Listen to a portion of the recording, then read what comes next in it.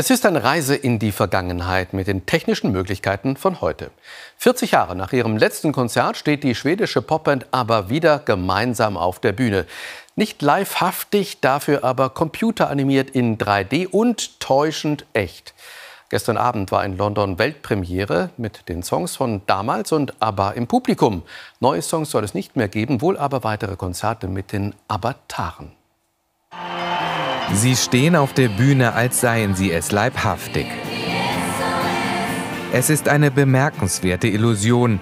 Der Gesang stammt von Aufnahmen von früher, aber selbst ist eine Animation. Das Publikum reißen sie mit. Zur Premiere ihres ersten Konzertes nach 40 Jahren sind die heute über 70-Jährigen nach London gekommen, quasi als Gäste ihrer eigenen Show. Vielleicht sind wir jetzt besser. Auf der Bühne sind wir besser als früher, ja. Über Wochen haben die vier ihre Songs vor 160 Kameras aufgeführt. Jede Bewegung bis ins Detail aufgenommen und zu einem Computerabbild werden lassen. Rückdatiert in die 70er Jahre sind es Avatare, die auf der Bühne stehen. Andere werden es bald nachmachen. Aber wir, aber, waren die Ersten. Uh,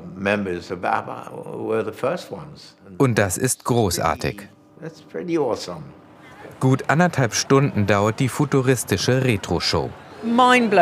Wahnsinn. Ich dachte, ich kann aber anfassen. Ein, zwei Lieder und man ist 40 Jahre zurück, wieder jung. Ein Jahr lang bleibt die ABBA Arena in London, um dann womöglich in eine andere Stadt umzuziehen.